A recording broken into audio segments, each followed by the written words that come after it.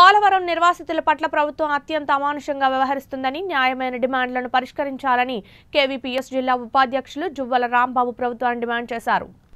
పశ్చిమ గోదావరి జిల్లా పోలవరం గిరిజన ఆదివాసుల పట్ల రాష్ట్ర ప్రభుత్వ అమానుష తీరు పట్ల నిడదవోలు ఎంఆర్ఓ కార్యాలయం వద్ద కేవీపీఎస్ న్యాయవాదుల సంఘం ఆధ్వర్యంలో నిరసన వ్యక్తం చేశారు.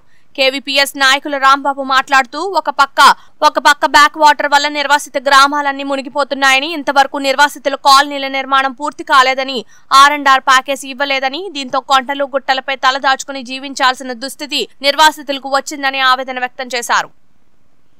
న్యాయవాదుల సంఘం అలాగే కేవీపీఎస్ ఆధ్వర్యంలో పోలవరం నిర్వాసితులను ఈ ప్రభుత్వం ఆదుకోవాలని చెప్పేసి డిమాండ్ చేస్తూ ఈ రోజు నిడదవోల్లో నిరసన కార్యక్రమాన్ని చేపట్టాము. మరి పోలవరం ప్రాజెక్టు పేరు మీద బ్లాక్ వాటర్ వల్ల మూడు వందల గ్రామాలు ముంపు గురవుతున్న పరిస్థితుల్లో మరి నిర్వాసితులకు సరైన సౌకర్యాలు ఇల్లు ఇళ్ళ సౌకర్యాలు కల్పించకుండా నష్టపరిహారం చెల్లించకుండా చాలా అమానుషంగా ఊళ్ళో ఊళ్ళో ఖాళీ చేయించి వాళ్ళు చాలా ఇబ్బందులు పెడుతున్నారు. గ్రామాల నుంచి గ్రామాలకి ప్రయాణం చేయడం కూడా ఆటంకాలు సృష్టిస్తూ నిత్యావసర వస్తువు సరుకులు కూడా లేకుండా పోలీసులు నిర్బంధకాండ ప్రయోగిస్తున్నారు.